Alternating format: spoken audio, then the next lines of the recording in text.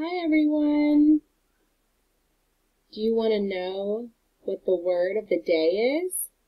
I've been thinking about it too. Hmm, I know.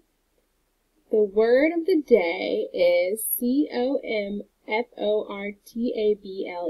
C-O-M-F-O-R-T-A-B-L-E. Comfortable. Are you comfortable?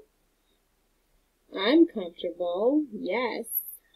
Have a good day. Love you guys.